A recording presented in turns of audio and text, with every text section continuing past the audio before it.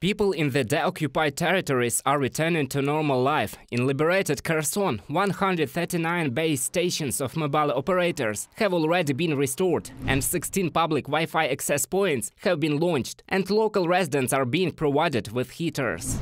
A total of 1,046 electric heaters were brought to the Bereslav territorial community. They have already started distributing them free of charge to residents of the community whose homes do not have stove heating. Bereslav also received 100 gas heaters from the Strengthening Public Trust project, funded by the United States Agency for International Development USAID. 20 heaters were donated to public utility organizations and another 80 were given to the community community. Yaroslav Yanushevich, head of the Kherson Regional Military Administration, on Telegram.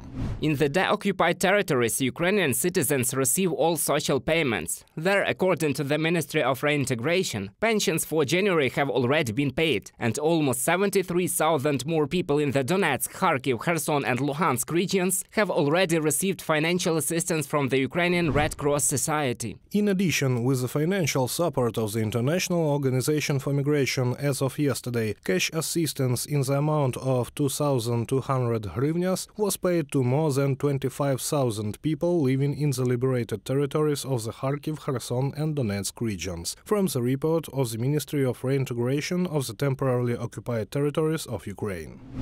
For those who decided to move to safer regions, the state not only provides free evacuation assistance with accommodation, but also financial support. Immediately after their arrival, right at the station, people can get money 2,000 hryvnias for each adult and 3,000 for children and people with disabilities. During the last two months, 47,500,000 hryvnias were allocated from the state budget for these payments.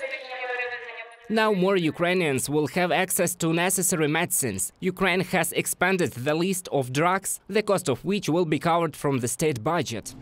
Now there will be more drugs that healthcare institutions will be able to buy from the state and local budgets, which means more patients will be able to get them for free. Viktor Liashko, Minister of Healthcare of Ukraine, from the message on the official website of the Ministry of Health of Ukraine. The government also increased the amount of compensation for child care under the social program Municipal Babysitter from 2,270 to 6,700 hryvnias.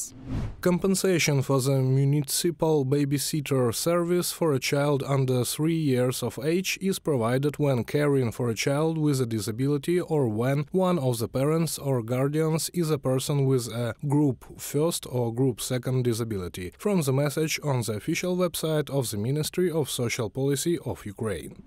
The Cabinet of Ministers also clarified the categories of servicemen terminated from military service, who have the right to be provided with housing and compensation. Reported by Roman Smoller, Vlada Tsurkan, UATV News.